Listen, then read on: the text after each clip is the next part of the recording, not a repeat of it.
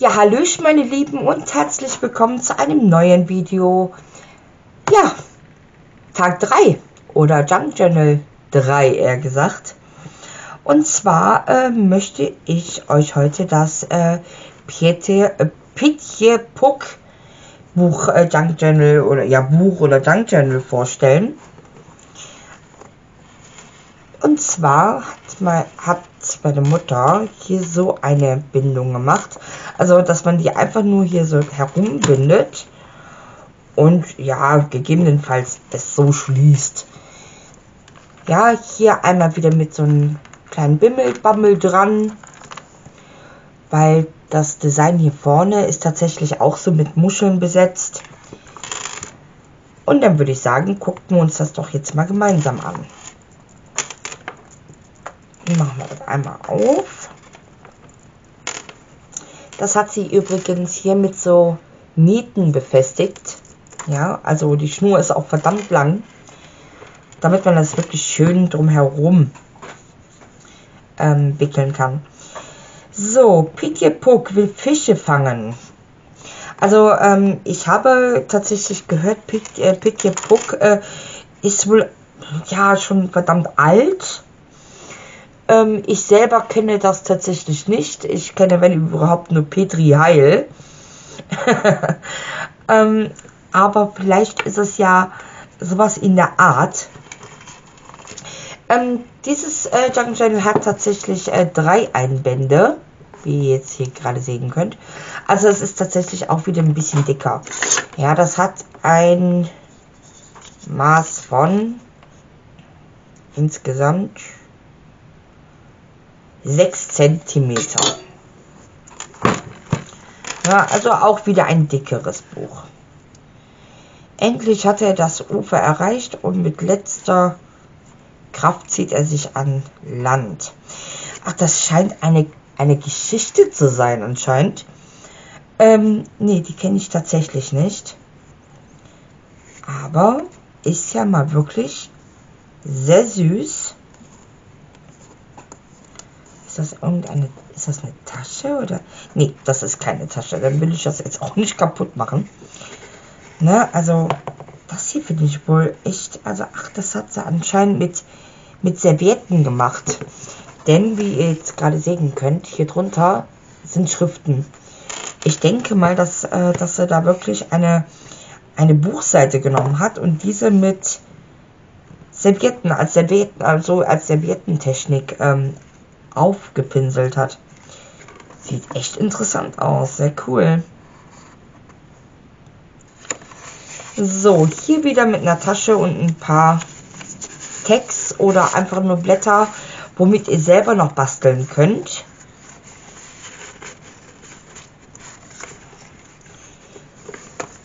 So, dann hier einmal wieder das Abenteuer beginnt mit einem Tag, wo ihr auch hinten wieder was draufschreiben könnt.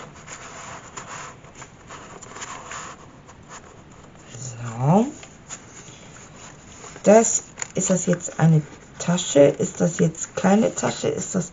Nee, aber dafür ein verdammt cooler Fisch. Also wenn ich mich jetzt gerade nicht ganz täusche... Ach, da steht das ja auch. Äh, grauer Knurrhahn. Das wirklich ein grauer Knurrhahn ist? Also ich weiß es nicht.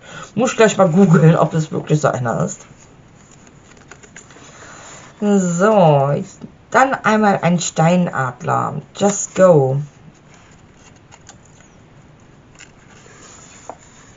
Oh, das ist ja süß. Das ist ja total niedlich gemacht, muss ich sagen.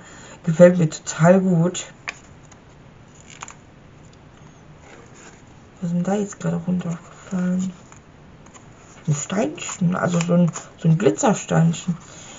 Aber hier fehlt nirgendwo ein Glitzersteinchen. Kurios, kurios. So, hier hat meine Mama eine, ach tatsächlich eine echte Feder reingemacht. Das ist ja sehr witzig. Ist ja cool. Ne, und darüber hat sie halt so, ähm, also entweder ist das Tesafilm oder aber Folie drüber geklebt. Ich bin mir da jetzt gerade nicht so ganz sicher. Aber sieht echt interessant aus. Coole Idee, muss schon sagen. Pitt hier lässt sich nicht veralbern. Kennt ihr die Geschichte äh, von Pitié? Würde mich interessieren, ob ihr sie kennt. Schreibt mir doch einmal einen Kommentar unter. Also äh, unter diesem Video. Weil mir ist, also mich sagt das wirklich gar nichts. So, wieder hier ein paar Papiere, wo ihr Text draus machen könnt. Genauso wie hier auf dieser Seite. Ah, das Kaffeepapier. Ich liebe ja das Kaffeepapier meiner Mama. Und die kann das echt verdammt gut. So. Ja, ein Aal. Hier ist ein Aal drauf zu sehen. Verdammt schwer, diese Viecher zu fangen. Am besten nachts. So. Also wie ihr seht, hier sind auch wieder einige Seiten frei, die der neue Besitzer oder ähm, ja, selbst gestalten kann. Das, äh, das Junk Channel ist zum Beispiel ganz niedlich für Angelfans zum Beispiel zum Geburtstag oder so. Finde ich eine verdammt coole Idee. So. Mit Missverständnissen, Missverständnissen fängt es an. Ich glaube, ich muss mir diese Geschichte wirklich mal, äh, ja, mal angucken oder mal durchlesen. Die scheint ja wirklich extrem niedlich zu sein. Ein toller Hecht. Pitje schläft nun mindestens schon zwei, äh, schon zwei Stunden am Ufer des großen Sees. Bis jetzt ist, die, ist der Korken noch nicht einmal unter, untergetaucht. Das ist ein Glück, denn sonst wäre Pitje der Fang erwischt. also ich muss mir diese Geschichte wirklich mal durchlesen. Verdammt süß. Ah, hier sind tatsächlich so Streifen, wo, wo ja, das macht ja auch das Schreiben tatsächlich einfacher, ne? Weil ich äh, persönlich finde, ähm, auf einem Blatt zu schreiben, wo, wo jetzt keine Linien draus sind, das ist sowas von schwer, dann gerade zu schreiben. Also ich bin da gar nicht für geeignet. Genau, hier haben wir einmal Karpfen. Also jetzt musst du mir aber mal sagen, Mama, äh, woher weißt du denn, was das für Fische sind? Du bist doch nie mit uns angeln gegangen. So. Dann einmal hier A mit der inneren. Hier kann man auch wieder so ein kleines Bimmelbammel oder sowas dranhängen. Ist ja auch ganz niedlich. ich, ich glaube, sie hat hier diese, diese, ähm, seht ihr das? Wenn ich das näher ranhalte. Ähm, ich glaube, das sollen Quallen darstellen. Würde ich jetzt tatsächlich denken, dass das, ne? So, so im Wasser mit Quallen. Klar, hier die Blätter, ne, als, als Seetang oder so. Ja gut, ähm. Warte mal. Ja, man könnte ja denken, Rochen wären viereckig. Also, man, man also mit, mit viel Fantasie finde ich verdammt süß. Echt cool. So, hier habt ihr dann auch wieder Seiten, die ihr selbst gestalten könnt. Hier wieder mit einer Geschichte oder mit der Geschichte. Finde ich echt total cool. Muss ich mir echt mal durchlesen. Hier wieder ein paar Sachen, wo ihr wieder selber Text mit basteln könnt. Ach, das ist ja cool. Was ist das denn für eine Pflanze? Das würde mich ja jetzt mal interessieren. Mutter, du siehst doch bestimmt gerade das Video. Schreib mal unten in die Kommentare, was für eine Pflanze, also was für ein äh, glatt das ist. Das würde mich jetzt mal interessieren. So, dann hier wieder eine komplette Seite, wo, wo ihr was draufschreiben könnt.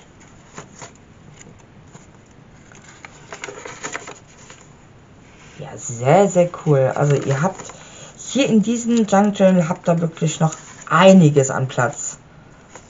Wirklich richtig viel Platz, um wirklich noch sehr viel zu machen. Ja, hier einmal von Heringen.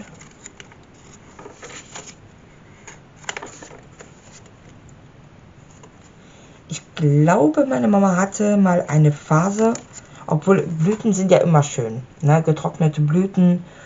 Äh, aber ich glaube, hier in diesem Junk Journal hatte sie wirklich ähm, sehr viel Spaß daran, weil schaut mir, wie hübsch. Also ich finde das mit diesen Pflanzen oder mit diesen Blättern finde ich ja sowas von hübsch und äh, wirklich schön. Finde ich total klasse. Hat sie super hingekriegt. Einmal hier mit Blüten. Ach, schaut mal, die kann man sogar bewegen. Das ist ja niedlich. Das ist ja wirklich niedlich. Das ist ja cool. so, dann gehen wir mal weiter. Hier einmal mit dem Tag. Ach, das ist ein längeres Tag. Das ist ja auch sehr cool. Vor allen Dingen, dass du das so als, Tasch als Tasche hier gemacht hast mit diesen kleineren viereckigen. Dann hier wieder der, äh, wie hieß der, Piet hier? Ja, der Piet hier wieder am Angeln ist. Ach, schaut mal, hier eine Angelrute. Piet hier hilft sich aus der Patsche. Hilft sich aus der Patsche. Ah ja, gut, okay. Hier finde ich das zum Beispiel ganz cool, da könnt ihr irgendwie immer, ne, für, für einen Angler zum Beispiel, ne, wenn ihr das wirklich für einen Angler zum Geburtstag kauft, kann er hier immer seine Erfolge zum Beispiel auf dem Foto und dann hier drauf machen. Finde ich total cool. Ne, weil die meisten Hobbyangler oder wirklich normale Angler, die machen ja wirklich sehr viele Fotos von ihren äh, Erfolgen, äh, was sie gefangen haben. Und ähm, schön als Erinnerung draufkleben und dann hier rein. Wunderbar. Kann man sich immer wieder angucken. Ich bin mir jetzt gerade nicht so wirklich sicher, ob das wirklich ein Zander ist. Also wäre mein Mann jetzt hier, der wüsste sofort, äh, was das für ein Fisch ist. Aber er ist noch auf Arbeit. Weil mein Mann, der ist auch ein leidenschaftlicher Angler. Klar, er kommt aus äh, aus Mecklenburg-Vorpommern, ne? Das ist, da ist ja bekannt, die Mecklenburger Seenplatte.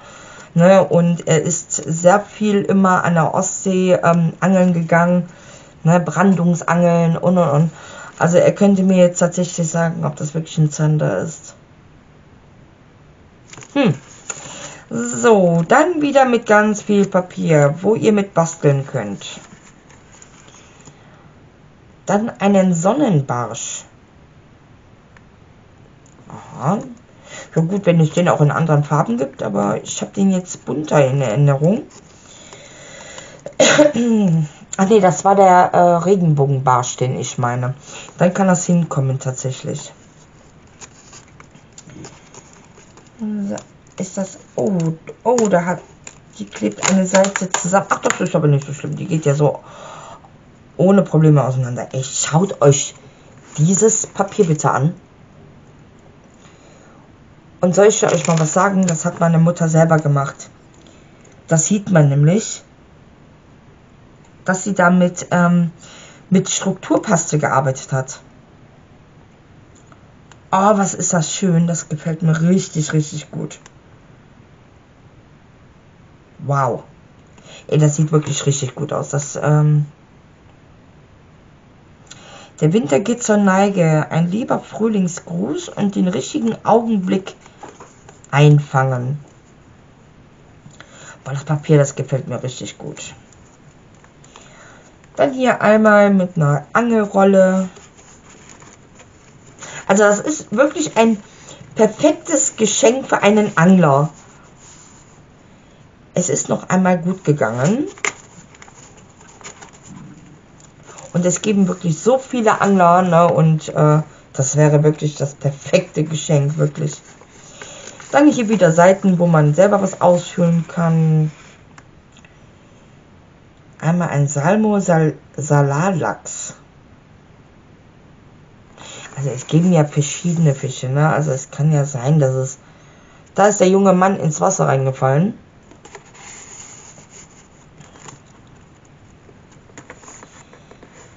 Dann einmal eine Bachforelle, ein Döbel.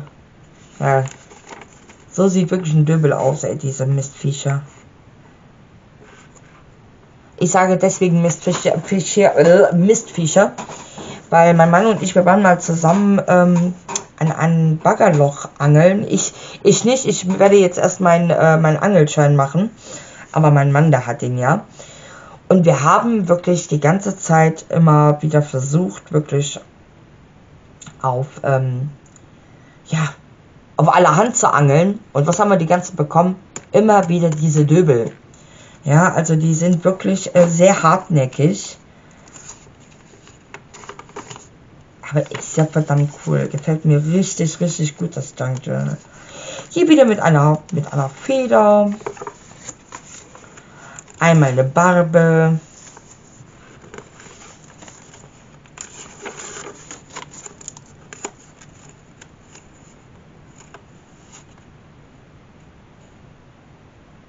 Also ich war jetzt gerade am gucken, was das, woraus das sein könnte. Ich glaube nicht, dass es aus der Geschichte selber ist, weil ähm, die Schriften ganz anders sind. Versteht ihr, was ich meine? Ich glaube, das ist von einem anderen Buch.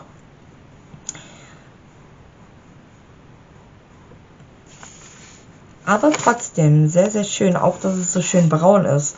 Gefällt mir ja total gut, wenn, äh, wenn, die, wenn die Bücher schon so alt sind, dass sie wirklich schon eine andere Farbe annehmen. Ne? Ne, auf jeden Fall hier. Jetzt taucht der Korken auf. Was hat er denn? Was hat Pitt hier denn gefangen? Ein Hecht. Ja. Ein Hecht hat er gefangen hier auf dem Bild.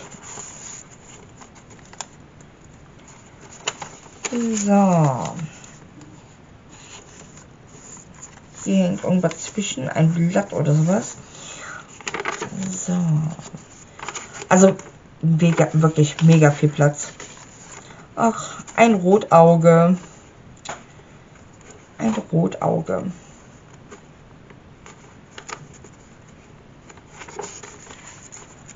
Auch das Papier, finde ich, äh, muss ich sagen, hat meine Mutter sehr, sehr schön gefärbt. Sieht sehr, sehr schön aus. Oh, schaut mal, wie süß das ist. Ist doch total niedlich, oder? Also ich glaube, ich muss auch noch mal irgendwie ein bisschen spazieren gehen und mir so ein paar Blümchen nehmen. Aber wohl bemerkt, ich, ähm, ich gucke natürlich immer, wenn das zum Beispiel auf dem Feld ist. Ich kenne hier sehr, sehr viele Bauern. Und ähm, ich würde tatsächlich, tatsächlich, auch wenn ihr es mir jetzt nicht glauben würdet, aber ich würde den Bauern fragen, ob ich mir das überhaupt da abmachen darf. Weil ähm, Manche wollen das einfach auch nicht. Aber schaut mal, wie schön. Auch wieder mit so einer Serviettentechnik. Total süß, ehrlich. Hier einmal diese frischen Hechte. Mit einem Blatt hier vorne.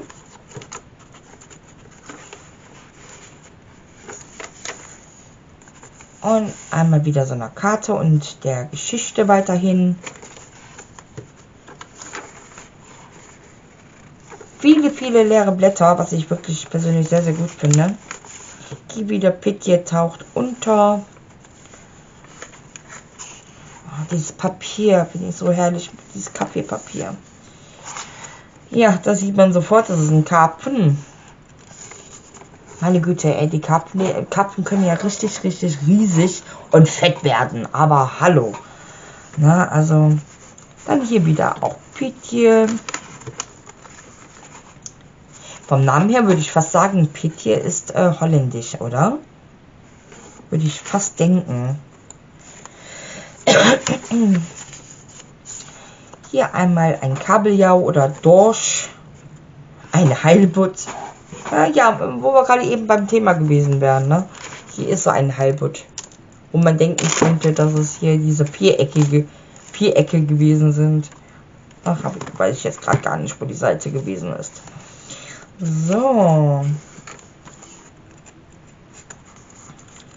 Hier wieder mit einer Geschichte. Einmal ein Seelachs hier unten. Dann wieder. Pitje ist ein feiner Kerl. Die Geschichte scheint wirklich total niedlich zu sein. Einmal hier sogar der Angel mit Bissanzeiger.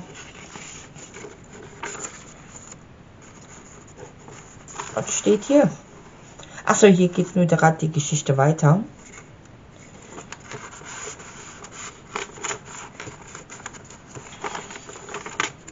So, da kommen wir auch langsam schon am Ende. Hier habt ihr auch wieder ein paar mehr Zettel zum selber irgendwie was zu basteln. Natürlich könnt ihr ja auch euer eigenes Papier nehmen, ne? aber hier wäre zum Beispiel eine Kleinigkeit drin, um euch das Basteln zu erleichtern, um zum Beispiel Text zu machen oder Taschen oder irgendwas anderes Feines.